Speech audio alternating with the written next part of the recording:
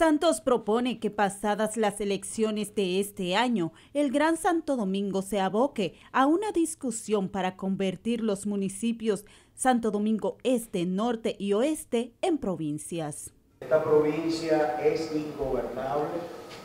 Un senador, la principal función de un senador es representar. Y la condición de la provincia de Santo Domingo no permite que el senador represente bien entonces aquí hay que abrir una discusión para retomar el tema de que Santo Domingo Norte debe de ser una provincia, que la parte oeste debe de ser una provincia y que la parte este sea una provincia. Y podemos discutirlo a nivel del presupuesto y le vamos a demostrar que sale más barato, es más eficiente y es más representativo.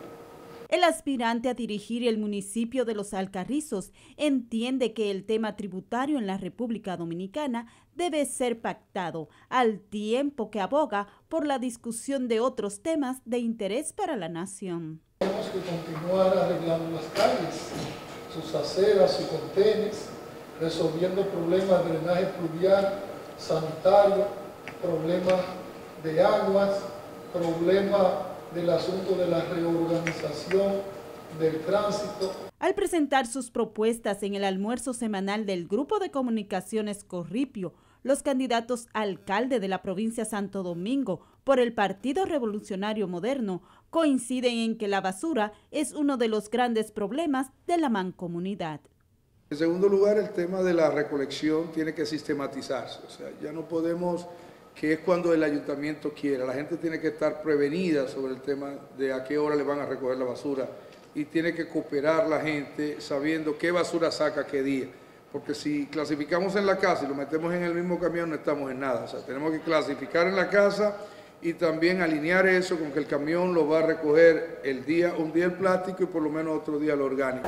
Tenemos que trabajar con el gobierno, salud pública y medio ambiente medio ambiente para que se convierta en un verdadero político sanitario, porque ya nosotros en el municipio ese vertedero tenemos, estamos en peligro, porque el vertedero tiene de vida ya prácticamente menos de 10 años, y tenemos que ver, convertirlo en verdadero relleno sanitario. Tenemos que continuar arreglando las calles, sus aceras, sus contenes, resolviendo problemas de drenaje pluvial, sanitario, problemas de aguas, problemas del asunto de la reorganización del tránsito. Los aspirantes se mostraron confiados de que saldrán victoriosos en las elecciones municipales que se celebrarán el próximo 18 de este mes. Para Telenoticias, Eliana Cuevas.